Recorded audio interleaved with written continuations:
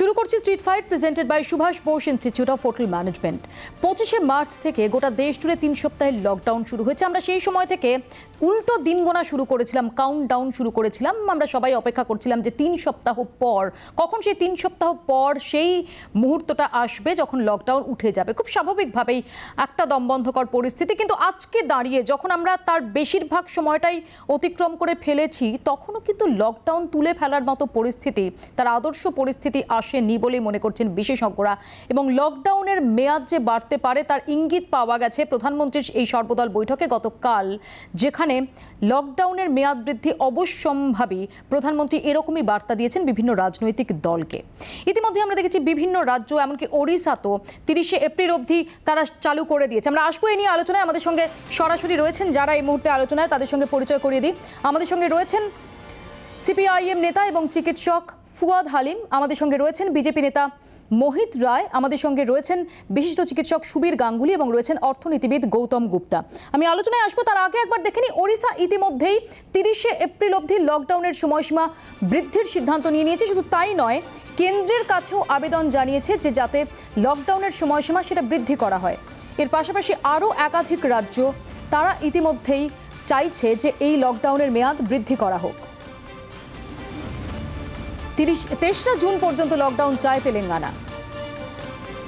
তিরিশে এপ্রিল পর্যন্ত লকডাউন চাইছে মহারাষ্ট্র কর্ণাটকও লকডাউনের পক্ষে মত, উত্তরপ্রদেশ, তামিলনাড়ু দিল্লি রাজস্থান, ছত্তিশগড়, ঝাড়খণ্ড অসমে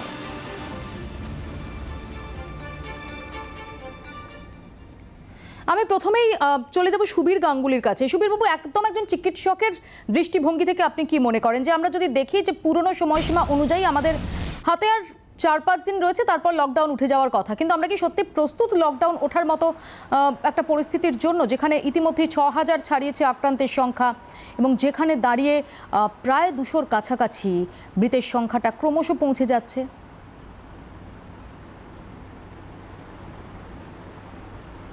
না লকডাউন করবার তো একটা উদ্দেশ্য থাকে। তা মোটামুটি যদি আমরা একটু ভাবি, তাহলে উদ্দেশ্যটা হচ্ছে সংক্রমণকে ঠেকানো, সংক্রমণ যেভাবে ছড়াচ্ছে অসুখটার সেটা কিন্তু দিনের পর দিন সংখ্যাটা বাড়ছে। সেটাকে একটা ঠেকানোর চেষ্টা করা হয়। এবং লকডাউনের সময়ে আরও কতগুলো কাজ করা হয়, যেটা করার কথা অন্তত। একটা হচ্ছে যে উপসর্গহীন অথবা উপসর্গ আছে, এই জনগোষ্ঠীকে বিচ্ছিন্ন করে তাদের টেস্টের ব্যবস্থা করা। এবং টেস্টে যদি পজিটিভ বেরোয়, তাদের চিকিৎসার ব্যবস্থা করা। এইটা কিন্তু খুব গুরুত্বপূর্ণ লকডাউনের পাশাপাশি। এবং সেই সঙ্গে যে একটা প্রজেকশান যে কত অসুখ আমাদের এখানে হতে পারে, ওই যে লকডাউন পিরিয়ডে আস্তে আস্তে টাইম টু টাইম সেটাকে পর্যালোচনা করা হয়, করে তাদের উপযুক্ত চিকিৎসা পরিকাঠামোর ব্যবস্থা করে। এই যে আমরা শুনছি যে কিট নেই, বা আপনার টেস্টের পরিকাঠামো নেই, বহু রাজ্যে, বহু জায়গায়, এবং সেই সঙ্গে যে সমস্ত রোগীকে আমরা রোগ নির্ণয় করতে পারছি না। যেটুকু যেটুকু পরীক্ষা হচ্ছে তার রিপোর্ট অনেক দেরি করে আসছে। এই ধরনের ব্যবস্থাগুলোকে আরও সুসংগত করা, অর্থাৎ লকডাউনের মূল উদ্দেশ্য হচ্ছে টাইম বাই করা। সুতরাং এই সময় কিনে সেই সময় নিজেকে গুছিয়ে নেওয়া, এই গোছানোটা কত ভালোভাবে করতে পারবেন, তার উপর কিন্তু লকডাউনের সার্থকতা ডিপেন্ড করে। শুধু কেস কমানো না, আগামী দিনের কেস কমাতে বা উপযুক্ত প্রকৃত চিকিৎসা পরিকাঠামো গড়ে তুলতে যে ধরনের কিট বা পিপি বা ডাক্তারবাবুদের যে সরঞ্জামগুলো লাগে, সেই সরঞ্জামগুলো পর্যাপ্ত পরিমাণে সাপ্লাই করা, পর্যাপ্ত পরিমাণে ওষুধের ব্যবস্থা করা, পর্যাপ্ত পরিমাণে কোয়ারেন্টাইনের ব্যবস্থা করা, এই ব্যবস্থাপনাগুলো এই সময়ের মধ্যে কিন্তু করে ফেলতে হয়। এখন সেইটা কতদূর কি হচ্ছে তার উপর আগামী দিনে লকডাউনের সার্থকতা নির্ভর করে। আমি আসব সুবীর বাবু আপনার কাছে আমি এখানে একটু ফুয়াদ হালিমের কাছে যাব। ফুয়াদ দা আপনি একই সঙ্গে চিকিৎসক আমি একটু আপনার কাছ থেকে জানার চেষ্টা করব যে সত্যি সত্যি একটা লকডাউন তোলার মতো পরিস্থিতি কখন হতে পারে? মানে আমরা যদি ধরেই নিই যে চোদ্দোই এপ্রিল লকডাউন উঠছে ধরে নেওয়া যাক হাইপোথেটিক্যালি তাহলে চোদ্দোই এপ্রিল কি কি সম্পর্কে আমরা নিশ্চিত হলে লকডাউনটা তুলতে পারি?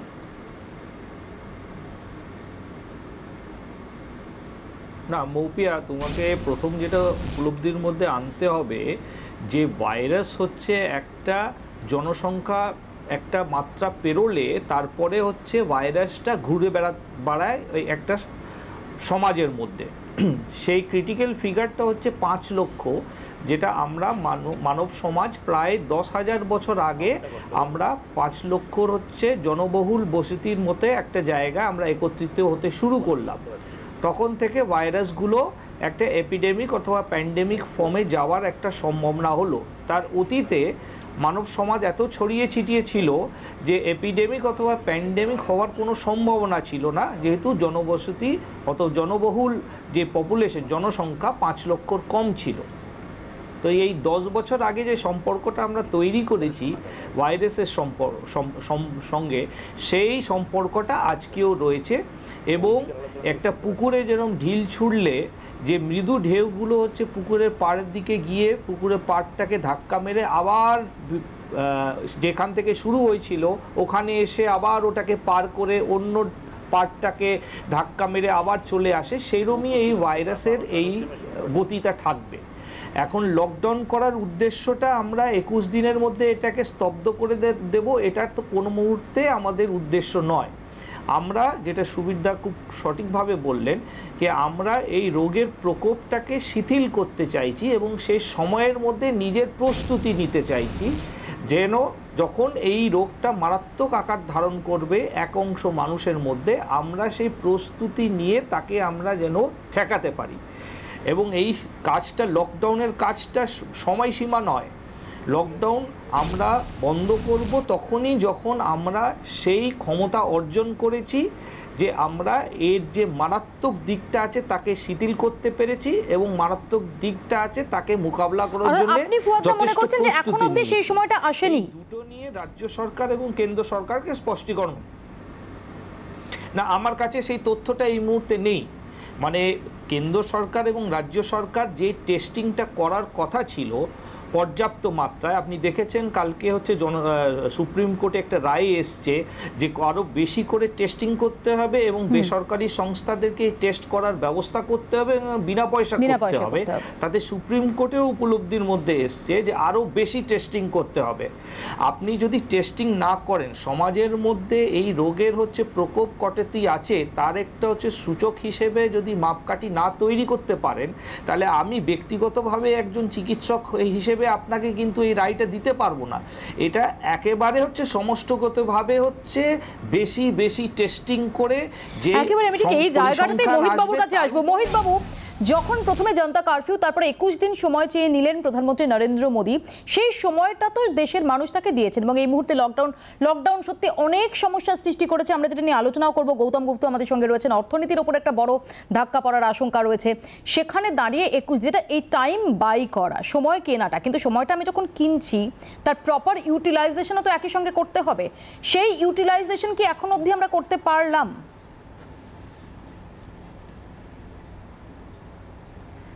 না, দেখুন, এখন পর্যন্ত যেভাবে সারা ভারতবর্ষে লকডাউন এগিয়েছে, মোটামুটিভাবে সন্তোষজনক। এখন মুশকিলটা হচ্ছে যে, যদি অনন্তকাল ধরে লকডাউন করে সমস্ত ভাইরাসের ব্যাপারটা জানা গেল, ওষুধ বেরোলো, এরকম তো একটা হাইপোথেটিক্যাল জিনিস ভেবে লাভ নেই। কারণ হাজার হাজার মানুষের কাজকর্ম আছে, তাদের জীবিকা আছে, এই সব কিছু ভেবেই শিক্ষা সিদ্ধান্ত নিতে হয়। এবং এটা আমাদের দেশের পক্ষে খুব গুরুত্বপূর্ণ এবং খুব পজিটিভ। সারা পৃথিবী দেখছে যে ভারতবর্ষের মতো একটা দেশ, চব্বিশটা রাজ্য আছে, তার মধ্যে দশ রকমের সরকার, কিন্তু সবাই কিন্তু একটা সদিচ্ছা নিয়ে এগোচ্ছেন যে ব্যাপারটা করতে হবে।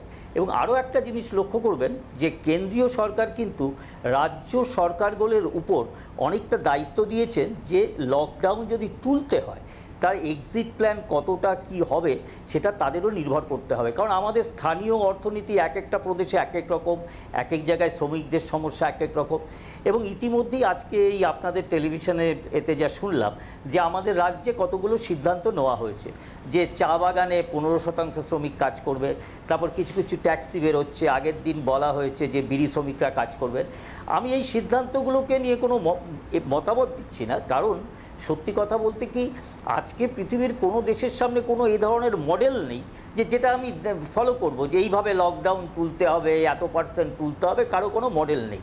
কিন্তু আবার ওই সমস্ত টেস্ট কিস্ট আসবে এ আসবে অর্থাৎ রাজ্য সরকার বা কেন্দ্রীয় সরকারের ওপর সমস্ত চিকিৎসা সমস্ত কিছু হওয়ার পর লকডাউন করতে হবে এটা একটা মানে ওই বিরোধিতা করার নামে বিরোধিতা যার সঙ্গে জনস্বার্থের কোনো সংযোগ আমি আসব আপনার কাছে, এই প্রসঙ্গে ফুয়াদ আমাদের হালিমের দেখতে response ও হবে নেব। আমাদের মতো হ্যাঁ। উন্নয়নশীল দেশে যে আমরা কীভাবে আসব প্লিজ আমি গৌতম গুপ্তর কাছে চলে যাব। গৌতম বাবু কিন্তু যদি আমরা দেখি যে আমাদের এই মুহূর্তে অর্থনীতির জায়গাটা সেখানে দাঁড়িয়ে একটা তো ধাক্কার জায়গা আছে। আমি আপনার কাছে যাওয়ার আগে একটু গ্রাফিক্যাল প্রেজেন্টেশনের মাধ্যমে দেখে নেওয়ার চেষ্টা করব যে এই লকডাউনের। কতটা মাসুল আমাদের অর্থনীতিকে দিতে হচ্ছে সেটা দেখার চেষ্টা করব। লকডাউনে প্রতিদিন দেশে পঁয়ত্রিশ থেকে চল্লিশ হাজার কোটি টাকার ক্ষতি হচ্ছে।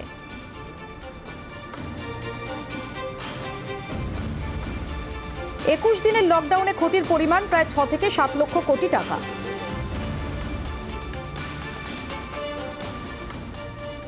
অর্থাৎ বোঝা যাচ্ছে যে কত বড় একটা প্রভাব পড়ছে অর্থনীতিতে। গৌতমবাবুর কাছে সেখানে যাব যে গৌতমবাবু এইরকম একটা আর্থিক ক্ষতির বোঝা নিয়ে সত্যি সত্যি আমাদের মতো দেশে সেখানে লকডাউন কত দিন অবধি এক্সটেন্ড করা সম্ভব? হ্যাঁ তোমার সঙ্গে অনেকদিন বাদে দেখা হচ্ছে। হ্যাঁ গৌতম দা। কঠিন সময় দেখা হচ্ছে খুব কঠিন সময়ে প্রথমত চিকিৎসা স্বাস্থ্য এবং সে বিষয়ের সংলগ্ন বিষয়গুলি বিজ্ঞানীরা ডাক্তারবাবুরা বলুন আমি অর্থনীতির কথায় আসছি এই জন্য যে এই লকডাউনের একটা স্বল্পমেয়াদী এবং একটা। মেয়াদী দিক আছে হ্যাঁ? প্রথমে স্বল্প মেয়াদিটা বলি বাইশে মার্চ আহ, প্রধানমন্ত্রী আবেদন করলেন যে আপনারা জনতা কারফিউ করুন, অর্থাৎ স্বেচ্ছা ঘরবন্দি। ইতিমধ্যে আমাদের রাজ্যের মুখ্যমন্ত্রী তেইশে মার্চ বিকেল চারটে থেকে পাঁচ দিনের ঘরবন্দি নির্দেশ দিয়েছিলেন। চব্বিশে মার্চ প্রধানমন্ত্রী আবার বললেন তিন সপ্তাহের লকডাউন চার ঘণ্টার নোটিসে সন্ধ্যে আটটায় বললেন, রাত বারোটায় লকডাউন শুরু হয়ে গেল। এই যে কোনো বড় কর্মকাণ্ডের কিন্তু একটা প্রস্তুতির বিষয় থাকে, যেটা কিন্তু এখন দেখা যাচ্ছে নেই, ছিল না। দুম করে একটা ঘটনা ঘটিয়ে দেওয়া হলো এবং তার ফলে পরিযায়ী শ্রমিক থেকে শুরু করে ছোট শিল্প এবং অসংগঠিত শ্রমিকরা যে কি ভয়ঙ্কর অবস্থার মধ্যে পড়েছেন, সেটা আমরা সবাই জানি। ফলে আমি বলব যে লকডাউন চোদ্দ তারিখে বন্ধ হোক সিলেক্টিভ লকডাউন হোক বা লাগাতার লকডাউন তিরিশে এপ্রিল বা কেউ বলছেন যে আরও দশ দিন অর্থাৎ দশই মে পর্যন্ত হোক। সরকারের তরফ থেকে কিন্তু আমাদের দেশের রাজ্যের প্রান্তিক মানুষদের জন্য ন্যূনতম ব্যবস্থাটা কিন্তু ইমিডিয়েটলি করতে হবে। ইমিডিয়েটলি মানে মানে অতি অবশ্যই। তার মধ্যে আমি চারটে কথা বলব। এই ধাক্কায় এক নম্বর হচ্ছে খাবার। মানুষ যখন খেতে পায় না, তখন কিন্তু সে উন্মাদ হয়ে ওঠে। একেবারেই। তাকে অন্তত একটু চাল একটু ডাল একটা আলু একটা পেঁয়াজ কিছু না হলে এইটুকুটা পৌঁছে দিতে হবে যে করে। আমি এখানে খবর পাচ্ছি সরকার ব্যবস্থা করছেন করছেন না যে এমনটা নয়। কিন্তু তারপরে বহু স্বেচ্ছাসেবী সংগঠন আমার কাছে ইমেল আসছে আমি সাধ্যমতো তাদের সাহায্য করছি। আমি যে বিশ্ববিদ্যালয়ে পড়াতাম তার ছাত্ররা এখন রোজ গিয়ে সন্ধ্যাবেলায় অ্যাজ উই স্পিক যাদবপুর স্টেশনে খাওয়াচ্ছে। আমার এক প্রতিবেশী, তার একটা ছোট সংগঠন আছে, তিনি লেক গার্ডেন স্টেশনে গিয়ে খাওয়াচ্ছেন।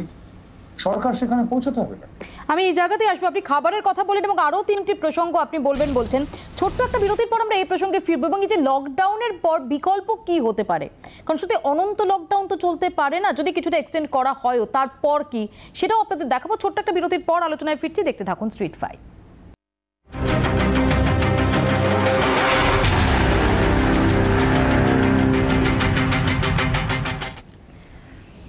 আমরা একবার শুনে নেব, মুখ্যমন্ত্রী মমতা বন্দ্যোপাধ্যায় আজকে তিনি নবান্নে কি বলেছেন এই লকডাউনের মেয়াদ বৃদ্ধি সম্পর্কে? লকডাউন ভাঙা যাবে না, কারণ এটা বাড়ছে ক্রমোত্তর এই দুটো তিনটে সপ্তাহ আরও বেশি একটু সেন্সিটিভ থাকবে, সুতরাং আমাদের মেনে নিতে হচ্ছে কি করব? দমবন্ধ হওয়া পরিস্থিতি কেউই এই ঘটনা কেউই পছন্দ করে না বা আমরা নিজেরাও খুব অখুশি এবং আমরা যে খুব এটাকে সাপোর্ট করছি তা নয়, কিন্তু উপায় নেই বলে বাধ্য হয়ে বলতে পারেন মানুষের জীবনের থেকে বড় কিছু তো নয়। সেই জন্য আমাদের এটা একটু সিদ্ধান্ত নিতে হচ্ছে। আমি এখানেই চলে যাব ফুয়াদ হালিমের কাছে। ফুয়াদ মুখ্যমন্ত্রী মমতা বন্দ্যোপাধ্যায় যেটা বলছেন যে, আমরা কেউ লকডাউন সাপোর্ট করছি না, কিন্তু বাধ্য হয়ে এটা মেনে নিতে হচ্ছে, কারণ যে পরিস্থিতি যেভাবে উত্তরোত্তর রেট সংক্রমণটা বৃদ্ধি পাচ্ছে, অর্থাৎ লকডাউনের মেয়াদ বৃদ্ধি অবশ্যম্ভাবী হয়ে পড়ছে। আমরা যদি দেখি, যেটা আগেও বলছিলাম যে, ওড়িশা ইতিমধ্যেই সেটা এক্সটেন্ড করে দিয়েছে। অন্য রাজ্যগুলো, তারাও সুপারিশ করছে, তারাও আবেদন জানাচ্ছে যাতে এক্সটেনশন হয়।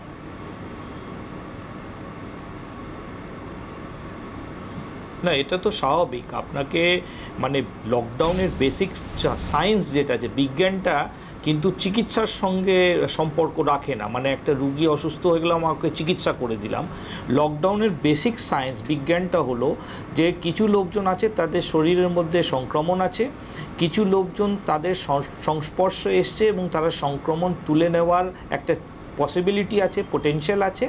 আর একটা অনেক জনসংখ্যা আছে, যারা কিন্তু সাসেপ্টেবল তারা রোগাগ্রস্ত হতে পারে, কিন্তু এই মুহূর্তে তারা কোনোভাবে এই জীবাণুর কাছাকাছি আসেনি। এই তিনটে গ্রুপকে আলাদা করা, এটাই হচ্ছে লকডাউনের বেসিক বিজ্ঞান। যারা হচ্ছে ইতিমধ্যে তাদের শরীরের মধ্যে রোগ চলে এসছে, আমরা জানি, তাদের থেকে অন্যান্য মানুষের কাছে এটা ছড়াতে পারে, অন্য কোনো পথ নেই, ফলে ওদেরকে দ্রুত চিহ্নিত করুন বেশি টেস্টিং করুন, ওদেরকে আইসোলেট করুন, যারা হচ্ছে খুব খারাপ আছে তাদেরকে সাপোর্ট করুন ভেন্টিলেটর সাপোর্ট দিন। যারা কন্ট্যাক্টস এদের সম্পর্কে এসছে, আপনি তখনই জানতে পারবেন যখন আপনি বেশি টেস্টিং করছেন, তখন আপনি বুঝতে পারবেন সমাজের মধ্যে কে কোভিড নাইন্টিন পজিটিভ আছে। যখন আপনি একটা কোভিড নাইন্টিন পজিটিভ পেয়েছেন, তাকে আইসোলেশনে পাঠানোর আগে তার রিভার্স ট্রেল আপনি খুঁজে বের করবেন। বিগত হচ্ছে পাঁচ সাত দিন ধরে ও কোথায় ছিল, কারা, কাদের সংস্পর্শে এসছে তার বাড়ির লোক, তার বাড়িতে কোনো পরিচারিকা এসছে কিনা, তার কোনো আত্মীয় স্বজন এসছে কিনা, আপনি ব্যাক ট্রেল করে যে কন্ট্যাক্টস আছে তাদেরকে চিহ্নিত করে তাদের হোম আইসোলেশনে পাঠাবেন। আর যে সাসেপ্টেবল গ্রুপ আছে তাদেরকে বলবেন, আপনারা বাড়িতে থাকুন কাইন্ডলি বাইরে বেরোবেন না। এই আইসোলেশনের এই তিনটে স্তরের মধ্যে যদি আমরা যাই, এখানে ভ্যাকসিনের কোথায় মোহিতবাবু নিয়ে এসছেন আমি বুঝলাম না। আমি বলি এত তো তথ্য সব চলে এসছে যারা রাজনৈতিকভাবে হচ্ছে একটু সচেতন তাদেরকে একটু মানে লকডাউনের বিজ্ঞানটা সম্বন্ধে একটু নিজেদেরকে একটু পড়াশোনা করে একটু আপগ্রেড করা উচিত না খুব মুশকিল মানে আলোচনা করা। ফলে এই বেসিক বিজ্ঞানের ভিত্তিতে লকডাউনটা আমরা ঘোষণা করি এবং এই বেসিক লকডাউনের বিজ্ঞানের ভিত্তিতে আমরা লকডাউনের বিজ্ঞানটা একটু পাঠিয়ে দেবেন। লকডাউনের বিজ্ঞান মার্ক্সবাদ যেমন বিজ্ঞান বলতেন না মার্ক্সবাদ বিজ্ঞান এবং মার্ক্সবাদ সত্য তো একই কথা বলে যাচ্ছেন। আপনারা। এটা খুবই লকডাউনের বিজ্ঞান নতুন বাংলা পাঠক্রমে নতুন যাবে। অবশ্য আপনারা ক্ষমতায় এলে যাবে। আমি মোহিতবাবু উত্তর দিতে চাইছেন মোহিতবাবু কোথায়? আপত্তি কোথায়? লকডাউনের এটা এটা খুব দুর্ভাগ্যজনক। এটা খুব এটা খুব না না। লকডাউনের বিজ্ঞান বলে একটা একদম ওই মার্ক্সবাদ একটি বিজ্ঞানের মতো কথা যদি লকডাউনের কোনো বিজ্ঞান থাকতো তাহলে এই যে বিভিন্ন রাজ্যে প্রথম দিন থেকেই যিনি দেশের প্রধানমন্ত্রী হন বা মুখ্যমন্ত্রী হন তিনি বলে দিতেন বিজ্ঞানের খাতায় লেখা আছে লকডাউন এই তা ফলে না কিন্তু 36 প্রধানমন্ত্রী দিনের মাথায় এই একুশ হবে, লকডাউনের আবেদন। করছেন তখন কি তিনি বিজ্ঞান ছাড়া করছেন। নিশ্চয়ই লকডাউনের কোনো বিজ্ঞান আছে যেটার পরিপ্রেক্ষিতে একুশ দিনে না হলে একুশ দিন ধরে গোটা গোটা দেশ এই না, না, মুহূর্তে লকডাউনের কোনো বিজ্ঞান নেই। ওই ওই না না সোশ্যাল সোশিওলজির কোনো বিজ্ঞান হয় না। এইগুলো মার্ক্সবাদ যেমন বিজ্ঞান এটা সেরকম বিজ্ঞান। একটা তাৎক্ষণিক বিভিন্ন যে সমস্ত তথ্য পাওয়া যায় সেদিক থেকে কিছু সিদ্ধান্ত নেয়। চিকিৎসা বিজ্ঞানের বিজ্ঞান আছে।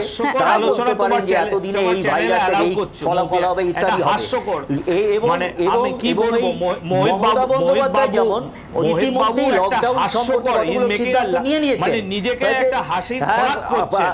না হাস্যকর না আপনারা এই হাস্যকর মার্ক্সবাদ একটি দেখে বিজ্ঞান পঞ্চাশ এই- বছর ধরে চালিয়ে যাচ্ছেন আমার লকডাউনের বিজ্ঞান শেখাচ্ছেন। ক্লাস study কে ছেলে হাসবে হচ্ছে একটা ক্লাস বিজ্ঞান ছেলে বহির্ভূত হাসবে বলছেন, লকডাউনের চ্যানেলে বিজ্ঞান। বসে ফর্মুলাগুলো দিয়ে দিন আপনাকে নোবেল আমি একটা আসব আমি মহিতদার কাছে আসব। আমি সুবীরদার কাছেও যাব। একটা ছোট্ট বিরতির পর যে সত্যি সত্যি যে লকডাউনের পদ্ধতিটা, এই মুহূর্তে একমাত্র প্রিভেন্টিভ মেজার বলা হচ্ছে লকডাউনটাকে যেহেতু এখন অবধি প্রতিষেধক আবিষ্কার হয়নি, এখন অবধি কোনো ওষুধের নিশানা পাওয়া যাচ্ছে না হাইড্রক্সিক্লোরোকুইন নিয়ে এত আলোচনা চলছে, কিন্তু সেটাও এখন অবধি প্রতিষ্ঠিত, এখন অবধি প্রমাণিত নয়। সেখানে দাঁড়িয়ে সত্যি এই যে লকডাউন ফলো করা হচ্ছে, সেটা কি একদম বিজ্ঞান ব্যতিরেকে? একটা ছোট্ট বিরতির পর এই প্রসঙ্গ নিয়ে আসব সুবিরদার কাছে। ছোট্ট বিরতি দিচ্ছি, দেখতে থাকুন স্ট্রিট ফাইট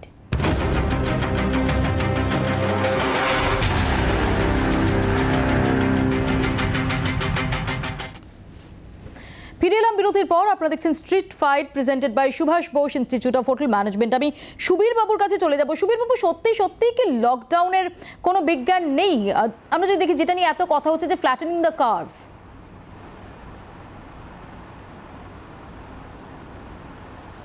না, বিজ্ঞান তো একটা আছে। বিজ্ঞানটা হচ্ছে আমাদের বুঝতে হবে যে আমরা একটা ভাইরাস এই ভাইরাসটা ভাইরাসটা কোন বিষয়ের অন্তর্গত? নিশ্চয়ই কোনো ইতিহাস বা ভূগোলের অন্তর্গত না বিজ্ঞানের অন্তর্গত। সুতরাং ভাইরাসের নেচার সেটাও বিজ্ঞান। ভাইরাসটা সংক্রামক সেটাও বিজ্ঞান। এবং এই সংক্রমণকে ঠেকানোর জন্যে লকডাউন হচ্ছে আমাদের একটা স্ট্র্যাটেজি সেটাও বিজ্ঞানের মধ্যেই পড়বে। কিন্তু সেটা না মৌপিয়া মৌপিয়া কিচ্ছু বিজ্ঞান না হাস্যকর কথা বলছেন। এর মধ্যে ইকোনমিকে যোগ করুন তাহলে আরও সমস্ত হবে এটা তো শুধু এটা তো শুধু বিজ্ঞান বলতে আপনার কাছে আসব আমি একটু শুনে নিই সুবীর বাবুর কথা তারপর আপনার কাছে আসব। ইকোনমিটা আসছে আপনি একটু ধৈর্য ধরুন। আসব, মোহিত বাবু, আসব। ধরুন। ইকোনমির ব্যাপারটা আসছে সেটা হচ্ছে সেটা হচ্ছে দুটো ব্যাপার। একটা হচ্ছে যে লকডাউনটা করতে গেলে যেভাবে লকডাউন করা উচিত সেইভাবে আমরা করতে পারছি কিনা। আমাদের যে প্রশাসনিক ব্যবস্থাগুলো আছে, সেটা রাজ্য এবং কেন্দ্র দু জায়গাতেই, তারা কি, আমরা তো রাস্তায় ঘুরছি, দেখছি, বহু জায়গায় শয়ে শয়ে লোক রাস্তায় ঘুরে বেড়াচ্ছে। বিভিন্ন ধর্মীয় সভা, বিভিন্ন নেতার মৃত্যু, আজকে জম্মু কাশ্মীরে একজন মারা গেছেন, তার মৃত্যু তো সেখানে কয়েক হাজার লোকের ভিড় হয়েছে, আমরা টিভিতে দেখছিলাম। সেই রকম বিভিন্ন জায়গায় বিভিন্ন পুজো, বা আমরা দিল্লির ঘটনা জানি এই যে আমাদের একটাই কথা যে দলমত এবং রাজনৈতিক আনুগত্য নির্বিশেষে লকডাউনটাকে কিন্তু প্রশাসনিকভাবে অত্যন্ত কড়া হাতে দেখা উচিত এবং সত্যি সত্যি রাস্তায় যে লোক ঘুরে বেড়াচ্ছে, বিভিন্নভাবে বাজারে লোক ঠিক ঠিক করছে রাস্তায় খাদ্য দান করা হচ্ছে সেখানে রাস্তার মাঝখানে বসে শয়ে শয়ে লোক লাইন দিয়ে দাঁড়িয়ে আছে। সুতরাং লকডাউনটা কতখানি এফেক্টিভ আমাদের এখানে সেটা নিয়ে কিন্তু একটা বড় প্রশ্ন আমি এই জায়গাতে আসব বাবু আপনার কাছে আমি একটু গৌতম বাবুর কাছে চলে যাব। গৌতম বাবু আপনি যেটা বলছিলেন যে অনন্তকাল লকডাউন চলতে পারে না অনেকগুলো ক্ষেত্র সেটা ভীষণভাবে তার উপর আঘাত নেমে আসছে এবং আমরা সবাই জানি আমরা আইএলওর যে রিপোর্ট সেটা বলছে যে এদেশে চল্লিশ কোটির ওপর ভারতীয় তাদের অর্থনৈতিকভাবে তারা বিপদে পড়বে। আমার এখানে আপনার কাছে জিজ্ঞাসা যদি লকডাউন তুলতে হয়, আমরা বলছি না যে চোদ্দোই এপ্রিলই তোলা হবে, কিন্তু একটা সময় গিয়ে যদি মেয়াদ বৃদ্ধি হয়, একটা সময় গিয়ে যখন তোলা হবে, তাহলে কি হটস্পটগুলোকে চিহ্নিত করে একটা কন্টেনমেন্ট জোন এবং বাফার জোন এই দুটোকে আলাদা করে বাফার জোন তার কাজকর্ম আস্তে আস্তে শুরু করা, জমায়েত shopping mall cinema hotel restaurant এগুলো বন্ধ রেখে বা শিক্ষা প্রতিষ্ঠান বন্ধ রেখে মোটামুটিভাবে আস্তে আস্তে চাকাটা গড়ানো, এটাই একমাত্র পথ। তোমার অনুমতি আমি এক মিনিটের জন্য একটু সিলেবাসের বাইরে যাই। বলুন প্লিজ এগারো শতকে এখন যেটা ইরান তখন পার্সিয়া বলা হতো। সেখানে একজন বিজ্ঞানী ছিলেন তার নাম ইবান সিনা। পাশ্চাত্য সাহিত্যে তাকে আবেসিনিয়া বলে বলা হয়। এই বিজ্ঞানী নাম করা বিজ্ঞানী তিনি প্রথম লক্ষ্য করেন যে সব অসুখ একরকম নয়। কিছু অসুখ তার মধ্যে আছে যেগুলো সংক্রমিত হয়, ছোঁয়াচে। এবং তিনি এই তত্ত্বটা দেন যে যদি সংক্রমিত ব্যক্তিকে সমাজ থেকে চল্লিশ দিন আলাদা রাখা যায়, তো আগে কথা হচ্ছিল না লকডাউনের বিজ্ঞান, বিজ্ঞানটা শুরু হয়েছিল কিন্তু এগারো শতকে। যে চল্লিশ দিন যদি তাকে আলাদা রাখা যায়, তাহলে সেই ব্যক্তি মারা যেতে পারেন, কিন্তু সমাজে সেটা সংক্রমিত হবে না। ভেনিস থেকে যে ট্রেডাররা ওখানে আসছেন, তারা এই কনসেপ্টটা নিয়ে যান। এবং ইটালিয়ান ভাষায় রোমান ভাষায় কোয়ারান্টো মানে হচ্ছে চল্লিশ ইনা মানে হচ্ছে দিন। অর্থাৎ কোয়ারেন্টিন কথাটার মানে হচ্ছে ফর্টি ডেজ আচ্ছা আমি যেটা যেটা জোর করে বলব সময় কম সেটা হচ্ছে যে আপৎকালীন কিছু নিরাপত্তা কিন্তু মানুষকে দিতে হবে না হলে এই লকডাউন রক্ষা করা সম্ভব হবে না। তার দ্বিতীয়টা হচ্ছে চিকিৎসা। আমরা কোভিড নাইন্টিন নিয়ে এত ব্যস্ত হয়ে পড়েছি যে অনেক হারিয়ে যাচ্ছে যে আরও অনেক অসুস্থ মানুষ আছে, তাদের চিকিৎসার প্রয়োজন। অনেক মানুষ আছেন যাদের সারা মাস ওষুধ খেতে হয়, তাদের সেই ওষুধটা প্রয়োজন। সেই জায়গাগুলোতে কিন্তু গভর্নমেন্টাল ইন্টারভেনশন এই জায়গাটা এখন আজকাল একটু ঢিলে হয়ে গেছে, কিন্তু সরকারি অনুশাসন এবং সরকারের উপস্থিতি, কি কেন্দ্র সরকার, কি রাজ্য সরকার, এটা খুব জরুরি হয়ে পড়ছে। এবং তার সঙ্গে আরেকটা জিনিস যদি করা যায় তাহলে তুমি যেটা বলছো সেটা কিন্তু সম্ভব। সেটা হচ্ছে যে প্রান্তিক মানুষ দরিদ্র মানুষ আদিবাসী মানুষ পাহাড়ের মানুষ যেটা আজকে আমাদের অভিজিৎ বাবু বলেছেন তাদের ব্যাংক অ্যাকাউন্টে কিন্তু কিছু টাকা পৌঁছানো দরকার জরুরি ভিত্তিতে। এইসব এফআরবি কিন্তু সেটা আমি একটু বুঝে নেওয়ার চেষ্টা করব আপনার কাছে সহজ করে খুব সংক্ষেপে যেহেতু আমাদের সময় সংক্ষিপ্ত যে টাকা ছাপিয়ে গরিবদের মধ্যে বিতরণ করা আহ, সেটা কতটা কার্যকরী হতে পারে? নিঃসন্দেহে একজন নোবেল লরিয়েট বলছেন। সেটা এই মুহূর্তে একমাত্র উপায়। সেটা এই মুহূর্তে একমাত্র উপায়। না হলে যেটা হবে পলিটিক্যাল ইকোনমি বলে একটা কথা আছে। এই গরিব মানুষ যদি খাবারের অভাবে চিকিৎসার অভাবে অল্প সামান্য দু হাজার পাঁচ হাজার টাকার অভাবে তারা যদি ধুকতে থাকে তারা কিন্তু বিদ্রোহ করবে। আমি এখানে মোহিত বাবুর কাছে আসব। মোহিত বাবু এটা বলার অপেক্ষা রাখে না যে সমস্ত কিছুর নেপথ্যে একটা বিজ্ঞান আছে সেটা কোয়ারেন্টাইন হ্যাঁ। হোক সেটা ইনকিউবেশন পিরিয়ড হোক সেটা এই সোশ্যাল ডিস্ট্যান্সিং হয় এই সমস্ত কিছু যে কারণেই এরকম ভাবে এটাকে ইমপ্লিমেন্ট করার কথা বারবার বলছেন প্রধানমন্ত্রী কিন্তু আমার পয়েন্টটা অন্য। আম- মোহিত প্লিজ আমায় শেষ করতে দিন। আমার পয়েন্টটা অন্য। আমার পয়েন্ট হচ্ছে আমি যেটা আগেও বললাম। না না আ, মোহিত একজন আমার প্রশ্নটা শেষ করতে দিন প্লিজ হ্যাঁ, আপনি বলবেন। প্রশ্নটা প্লিজ শেষ করতে দিন মোহিত বাবু কিন্তু সময়টা আপনি হ্যাঁ, কিনছেন। একই সঙ্গে তার যে একদম চিকিৎসার দিকটা। সে চিকিৎসার দিকটা, সেটা সরঞ্জাম হোক, সেটা পরিকাঠামো হোক, সেটা প্রতিষেধক হোক, সেটা বিকল্প ওষুধের ব্যবস্থা হোক, সেগুলো কি করা হচ্ছে? নাকি শুধুমাত্র লকডাউনের ভরসায় পড়ে থাকা?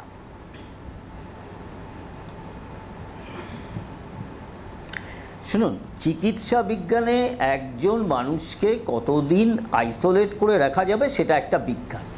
কিন্তু তার পাশাপাশি দেশের সমস্ত ইকোনমিকে কতদিন লকডাউন করে নেওয়া যাবে, তার জন্য এখনও কোনো বিজ্ঞান নেই। অর্থনীতিটা ওই বিজ্ঞানে চলে না। যেমন এইমাত্র নোবেল লরিয়েট আমাদের অভিজিৎ বাবুর কথা বললেন, উনি বলেছেন টাকা ছাপিয়ে দিতে।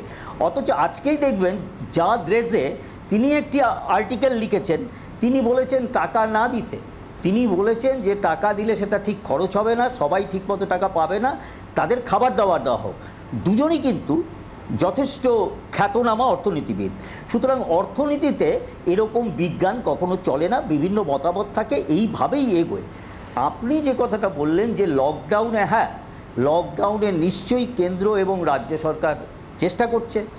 আমাদের এটা একটা গণতান্ত্রিক দেশ, এটা চীন নয় এটা চীনের মতো কোনো কোরিয়ার উত্তর কোরিয়া নয়। এখানে বিরোধীরা বলবেন তাতেই গণতন্ত্র এ হবে এবং সারা ভারতবর্ষ এখানে আমার আপনার কাছে প্রশ্ন সেটাই যখন বলছেন সত্যি সত্যি আজকে মুখ্যমন্ত্রী মমতা বন্দ্যোপাধ্যায় এই রাজ্যে যাতে বিভিন্ন ক্ষেত্রগুলো সেইগুলোকে কিছুটা কিছুটা করে চালু করা যায় এবং এই লকডাউন মেনে সতর্কতা এবং বিধি সেগুলো মেনে তার জন্য কিছু কিছু পরামর্শ বা কিছু কিছু পদক্ষেপ নিয়েছেন। আপনি কি তার সঙ্গে একমত? আপনি মনে করেন যে এই মডেলটা গোটা দেশে শুরু করা যেতে পারে যদি লকডাউনের এক্সটেনশন সেটা অব- অবশ্যম্ভাবী হয়?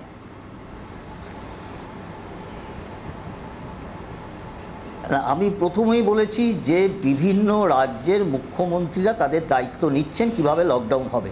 কারণ বিভিন্ন রাজ্যের অবস্থা বিভিন্ন রকম।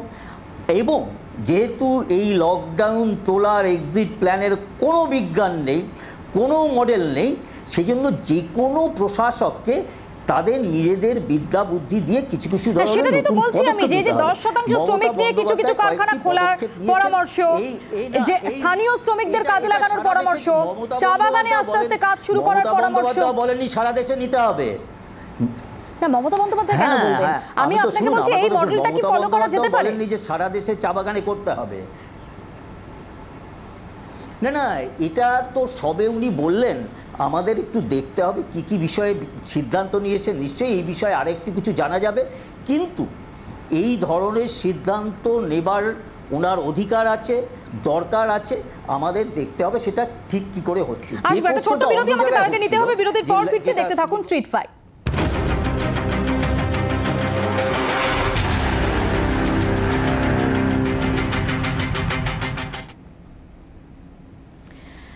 ফিরে এলাম বিরতির পর আমি ফুয়াদ হালিমের কাছে চলে যাব।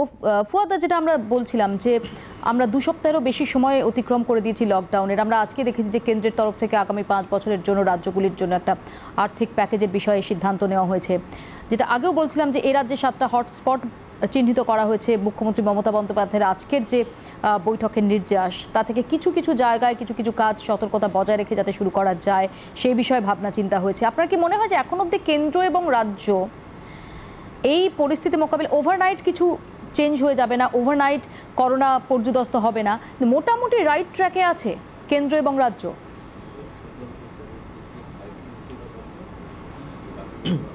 এবং মৌপিয়া, এই যে কোভিড নাইন্টিন চ্যালেঞ্জ গোটা পৃথিবীব্যাপী মানুষ সমাজের সামনে হচ্ছে একটা এইরকম একটা পরিস্থিতি তৈরি করেছে, যেখানে আমাদেরকে, আমাদের প্রত্যেকটা বিষয় নিয়ে নতুন করে মূল্যায়ন করতে হবে। এবং এই নতুন মূল্যায়নের মধ্যে একটা অভিজ্ঞতা এবং উপলব্ধি ইতিমধ্যে হয়েছে যে বাজার কোনো সমস্যার সমাধান করতে পারে না। কোভিড নাইন্টিনের সামনে যখন মানুষ, সমাজ হচ্ছে, সংগ্রামে দাঁড়িয়ে আছে, বাজার কোনো সমাধান কিন্তু সাজেস্টও করছে না। পুরো বাজার উঠে গেছে। ফলে পুরোটা আবার রাষ্ট্রের উপরে চলে এসছে। কোনো একটা দেশের মধ্যে রাষ্ট্রের বাইরে কোনো সমাধান অথবা কেউ কাজ করতে পারে, কেউ একটা সাজেশন দিচ্ছে কোভিড নাইন্টিন বিরুদ্ধে, এটা আপনি পাবেন না। ফলে এই এই রিয়ালিটি এই বাস্তবতাটা কিন্তু সাধারণ মানুষের অভিজ্ঞতার মধ্যে চলে এসছে। তার আবার যারা হচ্ছে ক্ষমতায় আছে, তারা মাঝে মধ্যে বাজারকে একটু জায়গা দেওয়ার চেষ্টা করছে, সে তার দ্বন্দ্বও সামনে চলে আসছে। যেমন প্রাইভেট ল্যাবরেটরি সাড়ে চার হাজার টাকায় হচ্ছে টেস্ট করতে পারবে। আবার সুপ্রিম কোর্ট বলছে, না, এটা করতে হবে না।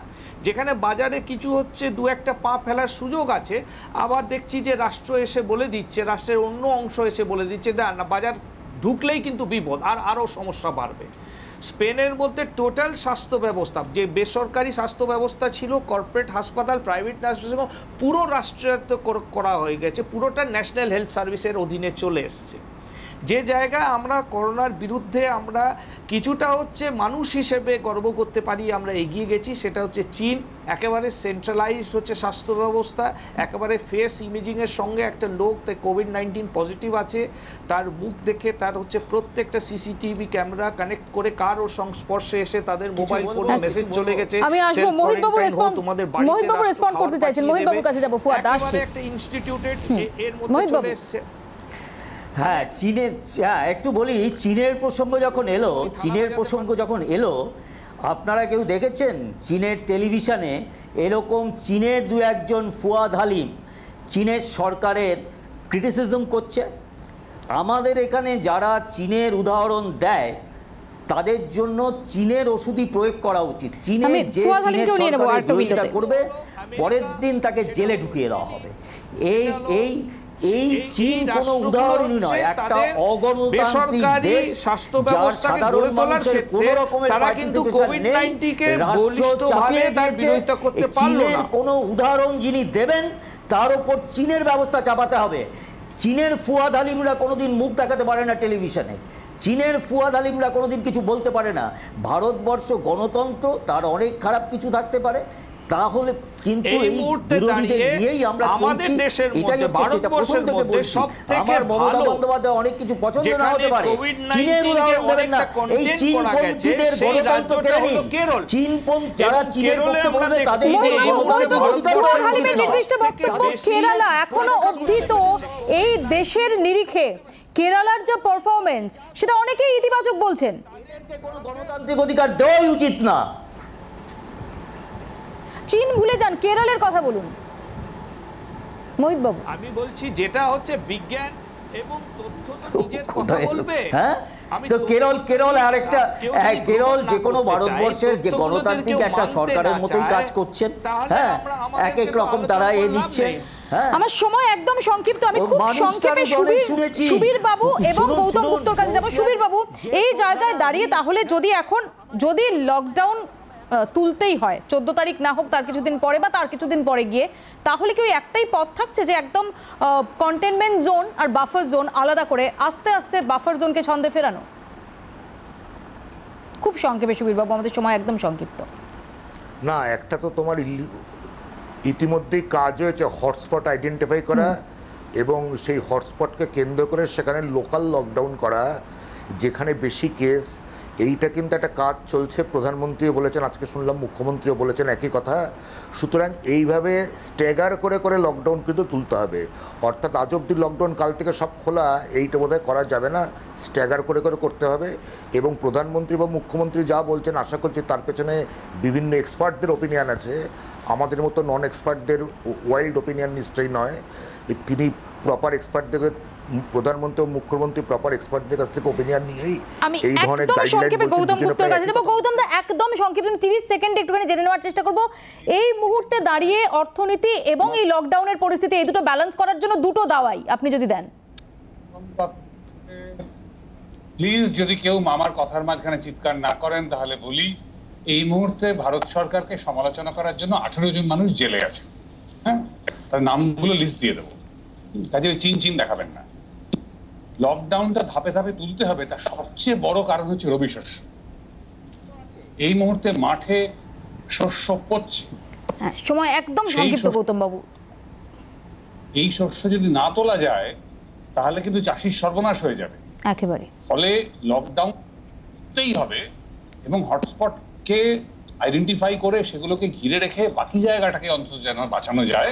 একেবারে আপনাদের অনেক ধন্যবাদ। গৌতম বাবু ধন্যবাদ মোহিত বাবু ধন্যবাদ সুবীর বাবু ধন্যবাদ ফুয়াদা আপনাকেও ধন্যবাদ। লকডাউন আমরা জানি না চোদ্দই এপ্রিলের পর তার মেয়াদ বৃদ্ধি হবে কিনা তার সম্ভাবনা ক্রমশ জোরালো হচ্ছে কিন্তু একটা সময় গিয়ে তো লকডাউন তুলতেই হবে মানে রাজ্য বা কেন্দ্র কেউই সেটা অ্যাফোর্ড করতে পারবে না। সেখানে দাঁড়িয়ে পরবর্তী পদক্ষেপ কি হবে? কারণ লকডাউন ওঠার পরবর্তী সময়ে সরকারগুলির ভূমিকা এবং আমাদের ভূমিকা সেটাই নির্ধারণ করবে যে আমরা এই যে একুশ দিনের প্রাথমিক লকডাউনটায় যাচ্ছি, তার যদি বা কিছু ফসল আমরা তুলতে পারি, সেই ফসলটা আমরা বাড়িতে নিয়ে যেতে পারব কিনা? আপাতত এখানেই শেষ করছি স্ট্রিট ফাইট দেখতে থাকুন জি চব্বিশ ঘণ্টা।